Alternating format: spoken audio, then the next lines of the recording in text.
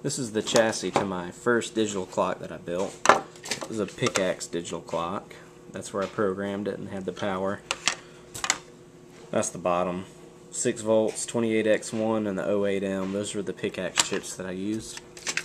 I had blue LEDs, 7 segment LEDs right here in these two holders. Um, I love these holders, these uh, chip sockets.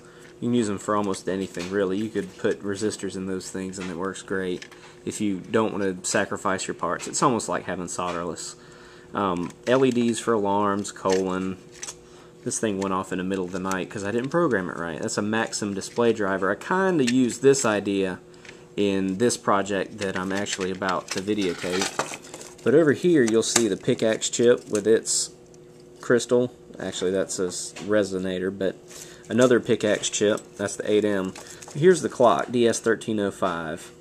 And there's the crystal right there, uh, 32.768 kilohertz. I actually stole the super cap that kept the time. This thing actually held its time for probably seven or eight months before I destroyed it.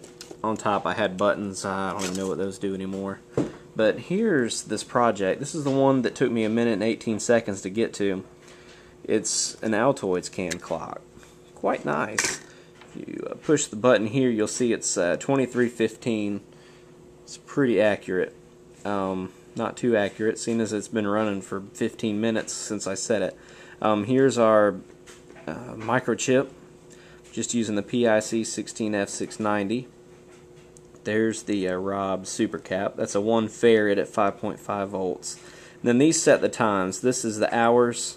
This is the minutes. I'm not going to push it because I've already set this clock, but you hold that down and ah, who cares? You can see that it changes the time. Those are the hours 3, 16, 4, 5. I'm not going to go through them. Then you can set the minutes here. And you can see that 250 millisecond delay.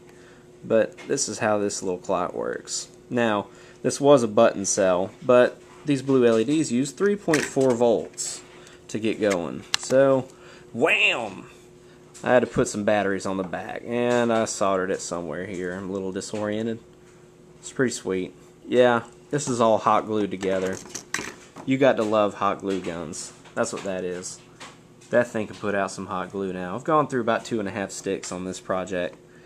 But there it is. And you can see I've used sockets for this because I may have to make mistakes and then have to fix them. And then, of course, blue LEDs, these are the only ones I have. They're, uh, they're $14 for two. Um, and plenty of hot glue in there. You can see the wires in there. It's almost like Encino Man. That's that's this project. Check out tech-tut.com and you can find the source code. Might put a hex file there if I get bored. Uh, this is a Cinnamon Altoids digital clock inside. Uh, it's pretty wonderful. Hope you've enjoyed this little documentary on the Altoids clock.